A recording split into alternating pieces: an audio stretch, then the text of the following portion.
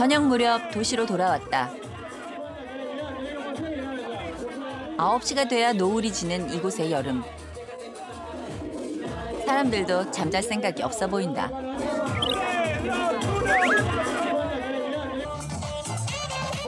오늘은 해변에서 마라톤 대회가 열리는 날.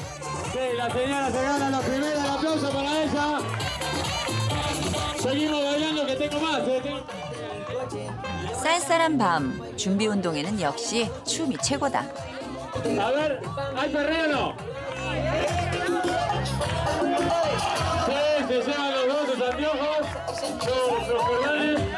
선물은 일회용 야광 팔찌. 작든 크든 선물은 할아버지도 춤추게 한다.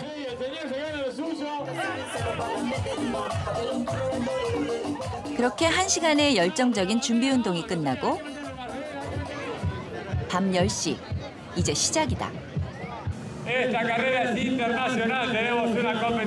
Seúl. 한국에서 미리 인터넷으로 참가 신청을 했더니 고맙게도 야광 안경까지 챙겨줬다.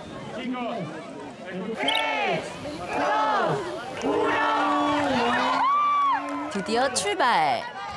파타고니아 각지에서 모인 400명의 사람들과 어우러져 나도 함께 뛰었다.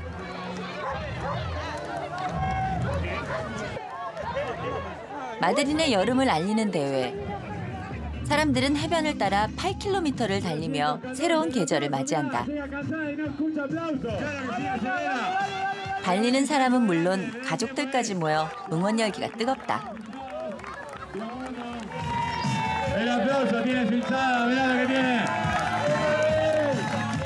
이렇게. 아이와 함께 뛰기도 하고 이렇게 천천히 걸어 들어와도 되는 마드린의 여름 축제.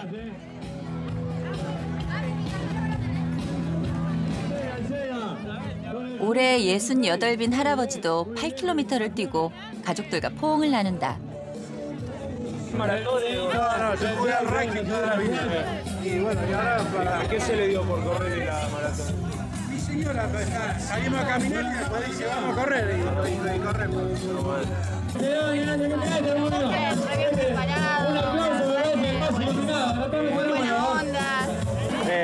la verdad muy buena. Yo atletismo hace unos cuantos años y la primera vez que corro una carrera así